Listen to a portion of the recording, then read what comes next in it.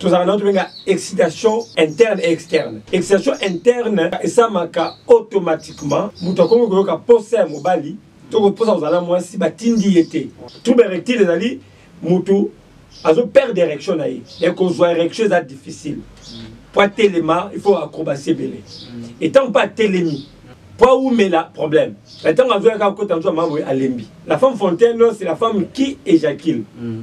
pendant la jouissance parce que na activité sexuelle toyana tobengaka désir mm. plaisir mpe orgasme désir eza posa mm. plaisir ntango osala elengi wana oyo kani babengao plaisir et puis orgasme sikoyo plaisir wana ekei ti ekomi na sommet ah, le secret d'une bonne sexualité mm. dépend de la circulation sanguine voilà.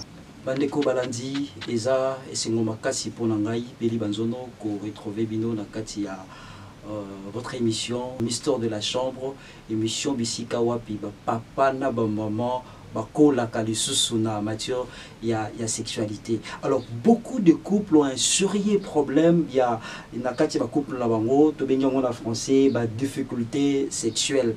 Et ba difficultés sexuelles wana et za na kati ya ba couple ebele, vraiment ebele. Alors na kati émission de l'autre, to lobela ba difficultés sexuelles na kati ya couple, mais Solution na ngo eza te epai ya minganga oyo ya, ya, ya, ya, ya medecine moderne, mais solution na kati ya sani. Papa oyo aza na difficulte, mama oyo aza na difficulte sexuelle akoki kozwa solution na kati ya sani. Alors, na kati ya emission ya lelo toza toujours na invité maison na biso Dr Desire Bombele, na ye tozo poser la question ba difficultés sexuelles yango eza nini, eh, solution dans l'assiette est-ce que eza possible, nini oyo toyi kolia pour que tozala en forme afin que to eradiquer ba difficultés wana en tout cas nalingi napesa invité maison na biso mbote docteur Désiré Bombile bonjour bonjour bonjour mon frère bonjour tout le monde bonjour euh, les amis des mystères de la chambre partout vous me suivez à Kinshasa aux États-Unis en France au Canada Allemagne partout vous êtes je vous dis vous êtes là voilà euh, docteur euh, désiré bombile amemaka bino na kati ya motema na ye c'est pourquoi alukaka traite baproblème aluka traite basujet oyo eza baproblème na biso na kati ya, ya, ya bacouple na kati ya émission na biso euh, mister de la chambre docteur désiré euh, le couple mpo na yo erepresentaka nini le couple mpo na ngai ezali euh, réponse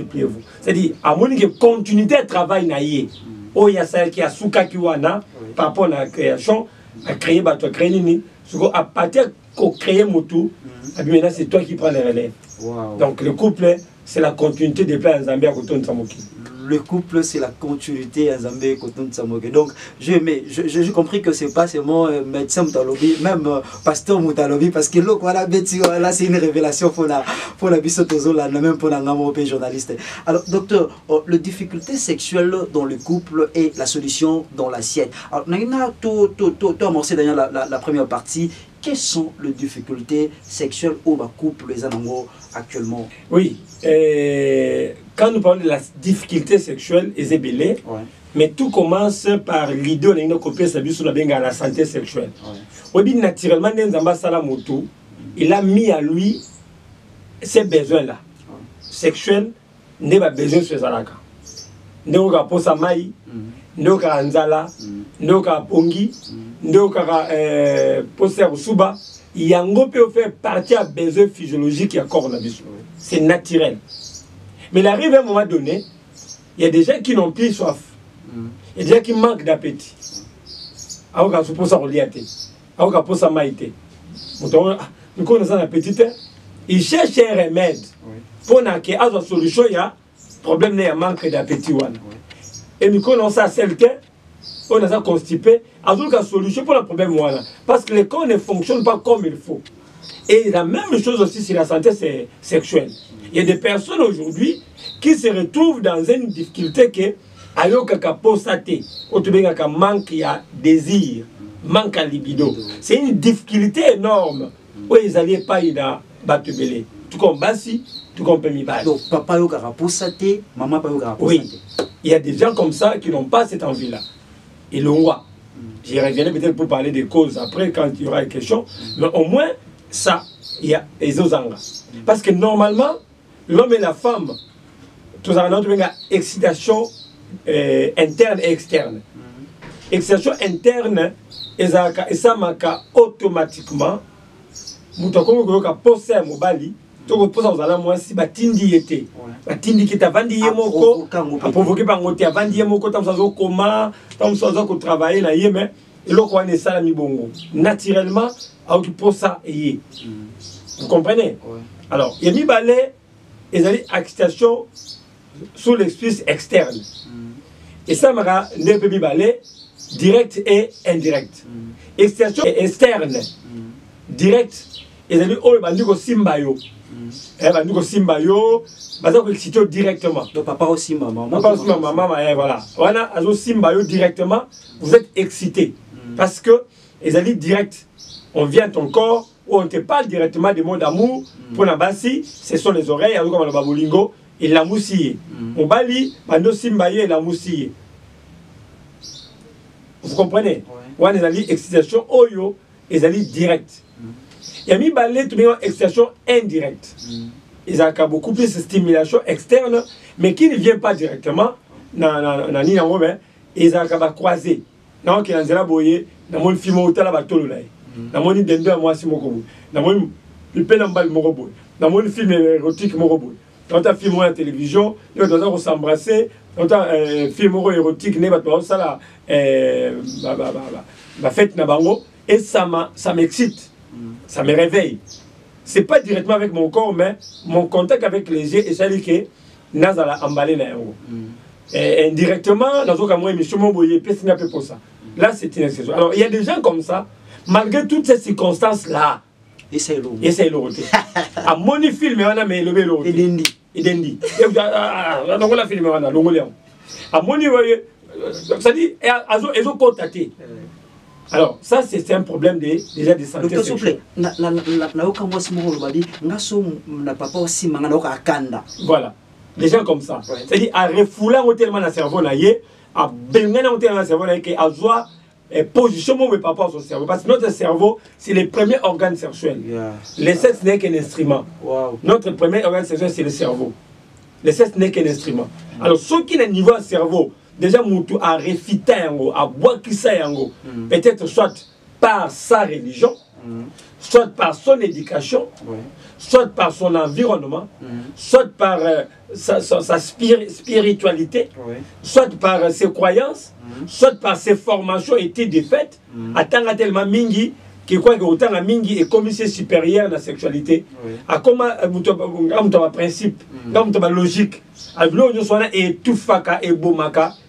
Pe en fin de compte elongwa.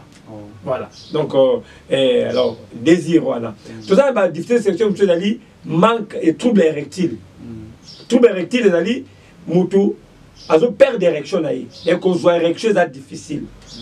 Po atelema il faut acrobatie belé. Mm. Etant pas atelemi. Mm.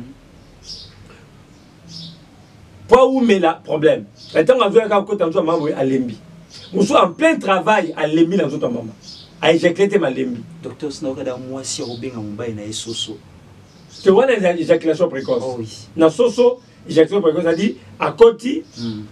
na kokota na kobwaka oh, wana éjaculation précoce mais awa na mabake trouble erectile ezali ke akoti na ye mm. mais aejacule te alembi ou bien érection eyaki leta azosala manœuvre mpo ya pa mama alembi il y a des cas comme ça devient trouble érectile mm. éjaculation précoce oyo tikoloba wana eza motu aza koéjacule précocement avant même jouissance ya mama mm. tellement mama azalaki excité papa aza excité ntango azoya kokota Mbala moko asali nini? A ejaculer. Ce sont des choses qui arrivent aussi na tableau wana. Toi éjaculation prématurée. Wana kuta kote na lote. Hmm. Kande ba sala we. Oh. Ebimi. Tringa on prématuré.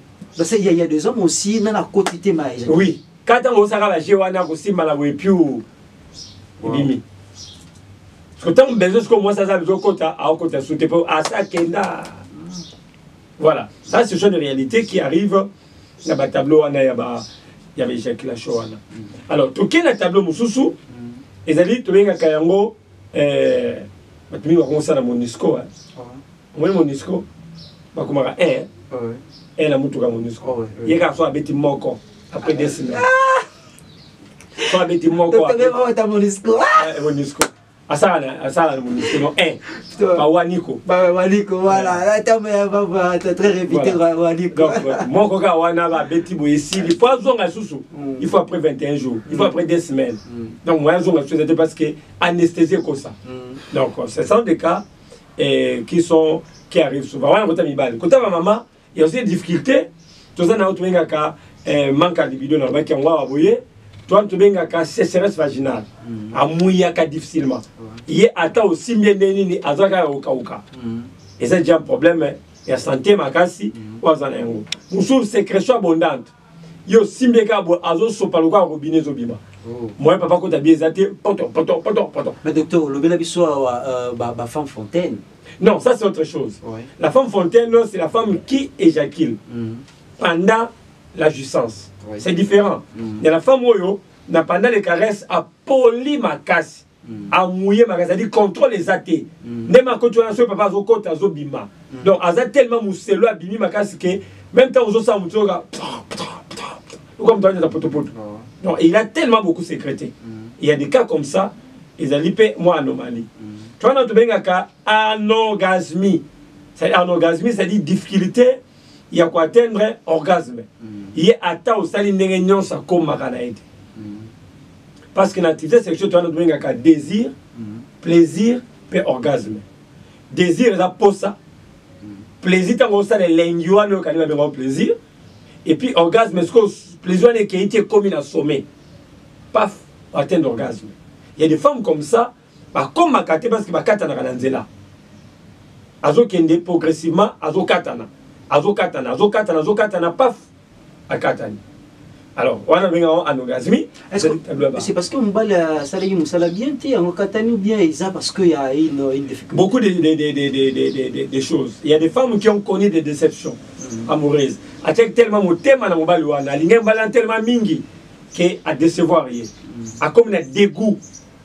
na ya mobali na ya sexualité il y a des femmes comme ça tobenga ba, ba, ba anogasmie de couple c'est-à-dire ye soki aza ye moko mm. akomi tia misapi mpe ayoki bien mm. mais soki asala mobali ayoka bien ayoka te oh. eh, tobenga anogasmie de couple mm. ea tosusu bakoma ndenge wana parce que eh, mobali adeseva ye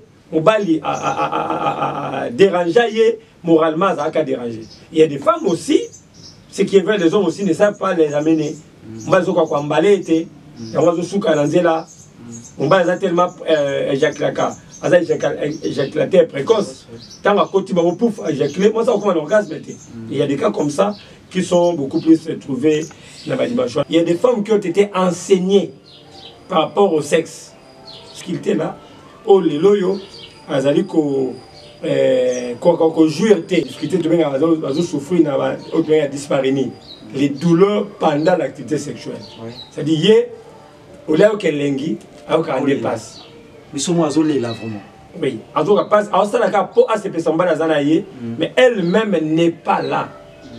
elle même n'est pas là vous comprenez elle souffre euh, sérieusement parce qu'elle-même ne se retrouve pas dans le cadre donc ce sont des réalités qui nous arrivent euh, plusieurs fois que nous pouvons voir. Donc voilà un peu, d'une manière générale, les différentes difficultés, bien qu'il y en a beaucoup, quelques difficultés qui sont euh, courantes dans mm-hmm. la vie à couple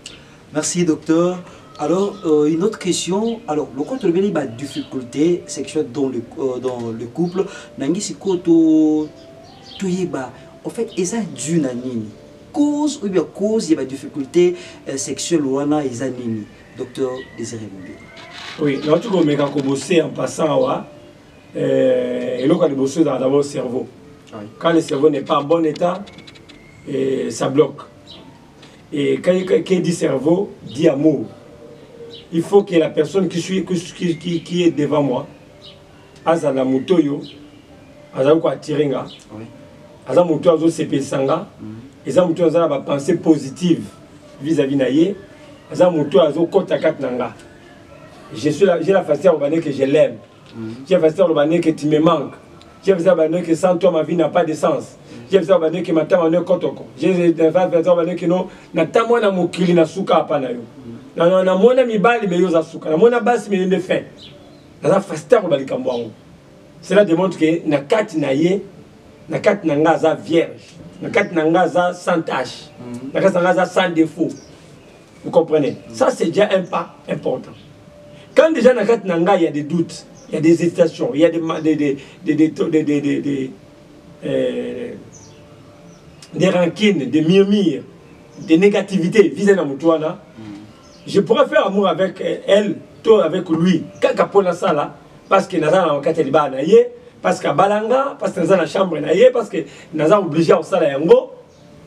mais naosala yango na cœur te vous comprenez c'est pourquoi ozala lokola ya kobwakela mm. omaki okiti osisi kojakela okiti mm. aza kutu nayo te etali mpe ye te basi mosusu kutu omona docteur azoloba mibale me osanoki sanoki osanoki okita eh, sanoki okita mm. moni sanoki okita wana eza olingi azomeka ofe comprendre bana seke non ndenge eza wana ozali eh, naloba na na difficulté ya kosepelisa nga Ozali kokoka te kosepelisa nga, nazosepela na yo te, et parce que nazosepela na yo te, je ne trouve pas l'importance ya kocontinue kosalaka likambo oyo. E moto ya bongo edia service ya kokufa akosala eloko ya malonga te. Ya mibale ezalaka likambo ya, ya, ya, ya cerveau te ya mpe likambo ya environnement. Wow. L'église a joué pour beaucoup na likambo ya kobebisa valeur ya sexualité. l'église a tellement mal présenté la sexualité l'église a tellement mal orienté la sexualité l'Église n'a pas présenté la sexualité comme étant quelque chose de bien. Dans la phrase dominique, interdire quelque chose, c'est le faire, euh, interdire quelque chose par rapport à la sexualité, c'est le faire par rapport au temps,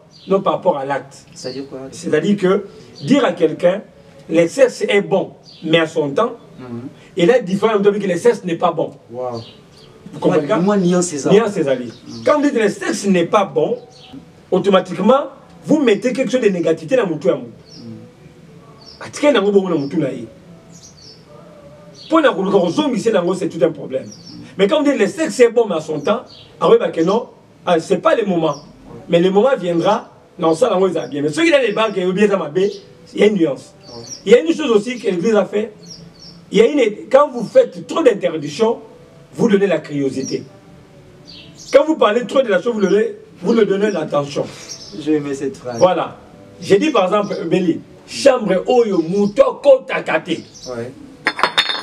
chambre oyo moto akotaka te quand j'ai dit cette phrase là j'ai réveillé une curiosité mm.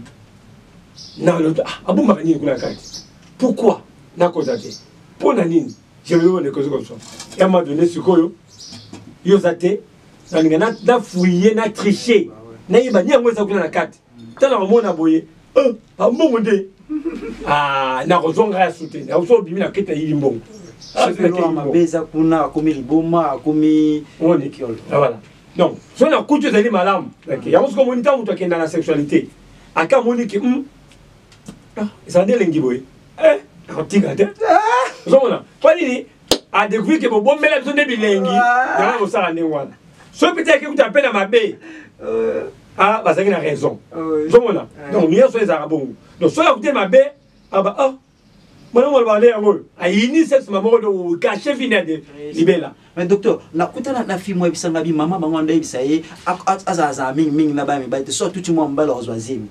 C'est ekota na kati ya mutu ya mwana mwasi wana akoma ko éviter bana mibali.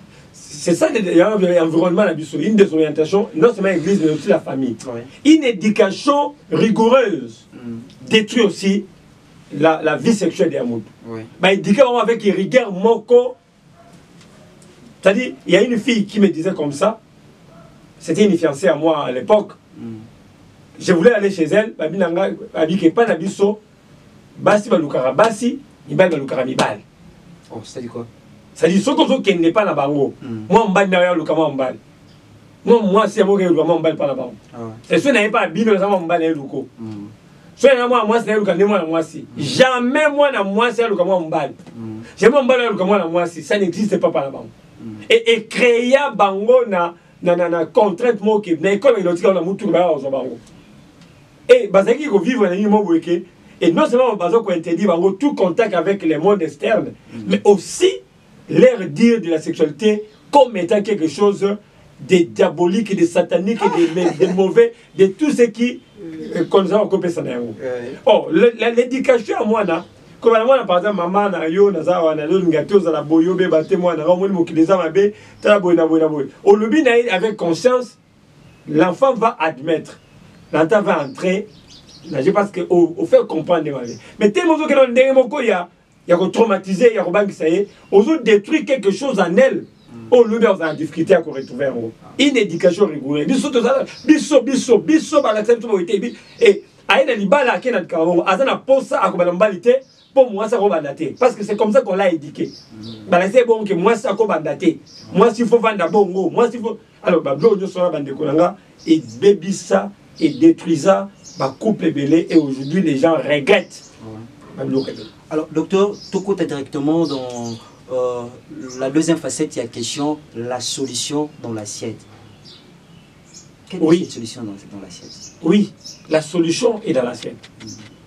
Nous ne donnons pas le droit de sortie ya ba ya ba ya ba kisi quelque part quelque part non hein. Mm. Nous avons une solution dans la sienne. Na répéter phrase on a marqué moto asala nzoto ebamba na mokoleka yango mm. ya des aliments qui sont en train de permettre l'activité sexuelle normalement oui. les secrets d'une bonne activité sexuelle dépendent de la circulation sanguine. Waouh Que dit Les, secrets d'une bonne sexualité dépend mm. dépendent de la circulation sanguine. Voilà. Mm. Alors, pour qu'il y ait une bonne circulation sanguine, il faut un bon état du cœur. mm. parce que quel qui pompe le sang mm. kote ya mwasi tuka moto ya mobali le cœur qui pompe le sang na ndenge ya bien na ndenge ya makasi mm. le sang la va ezokɔta na corps carvene ezokɔta mpe ezopermettre ke moto azala na érection mpo na mobali kote ya mwasi mpe ndenge moko mpe ezoyomona clitoris na evimbi parce que akomi akomi kozala moye parce qu'il y a eu présence ya makila wana d'où quand vous mangez certains aliments qui rendent difficulté la circulation sanguine ça répercute sur votre santé sexuelle. Mm. Ma à Ming. Mm. trop de cholestérol rend difficile la circulation sanguine. Les aliments pauvres en potassium rendent difficile le fonctionnement du cœur.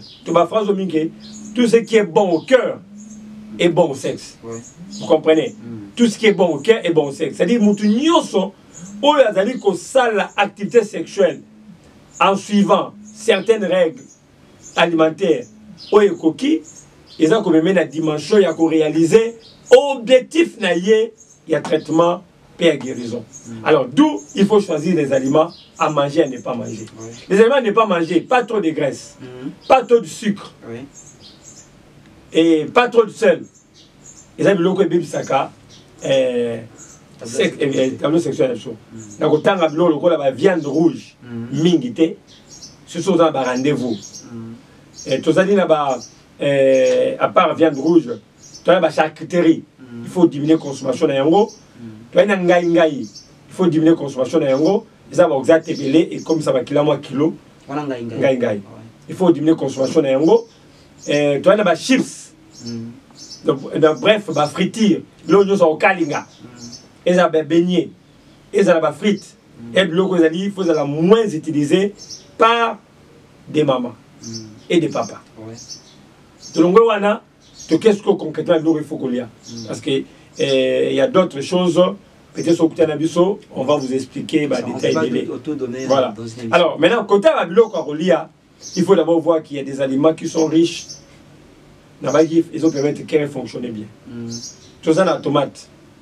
Tomate. Tomate ya mbuma. Mm. C'est déjà un aphrodisiaque de choix.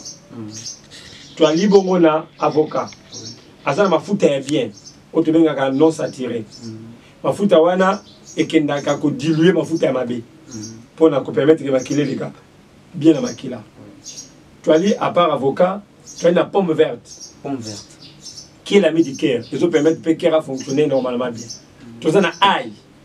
toa na matungulu toa na tangawisi toa na bitabe ezoconstitue force ya traitement pour les animaux alors aujourd'hui nous avons un élément important à citer il y a des recettes qu'on peut faire oyebi soki toyebi biso batuke liaka bitabe mingi liaka biloko mingi des fois les gens ne mangent pas selon hauteur ya besoin demandé yango wana ntango mosusu tokomaka barecette oyo et la pona facilité bato baza na facilité ya kokota je donne un exemple trois bananes eza recette napesaka mwa mingi mm. okati ma banane na yo mike mike na sani osopeli yango banane na citro esengani olebi tabe na citro wana epuis omeli jus ya orange ofini orange na vert omeli yango c'est un trio gagnant un trio gagnant qui vous fait beaucoup de bien sur le plan sexuel mm. toyani na pastèque ozwi pastèque na yo olongoli yango ozwi jus na yango wana mm.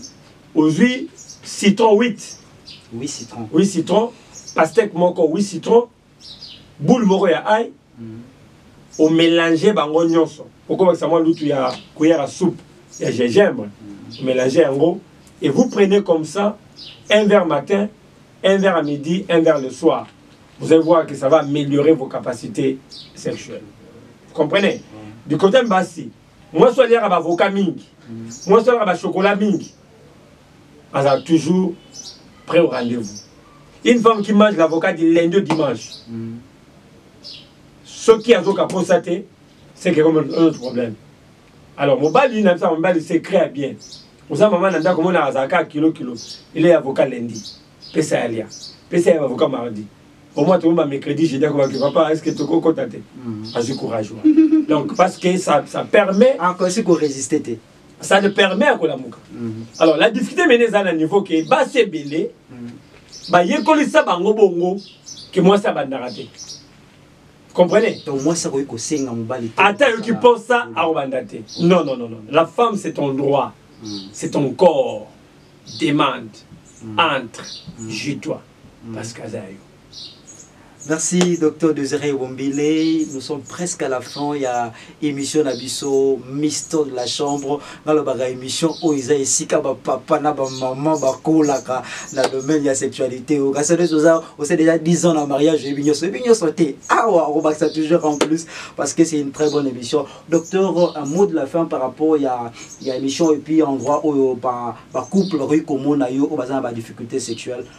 pour la solution. Oui, tozali na 4e rue numéro 14, quartier Kimbangu, na commune ya Kalamu.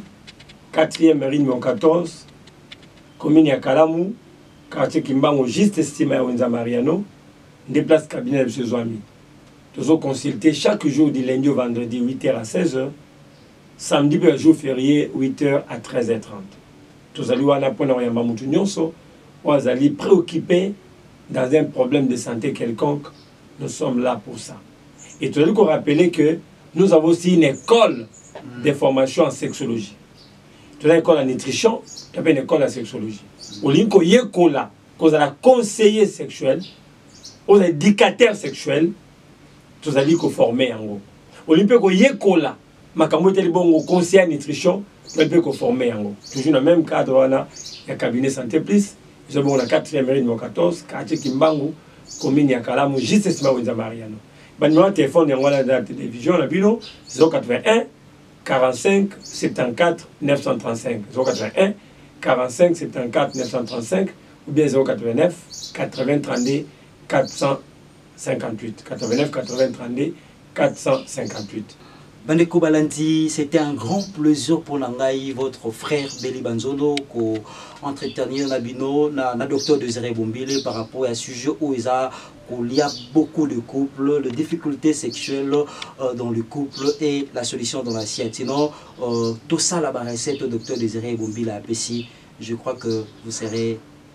le meilleur joueur au lit. Portez-vous bien.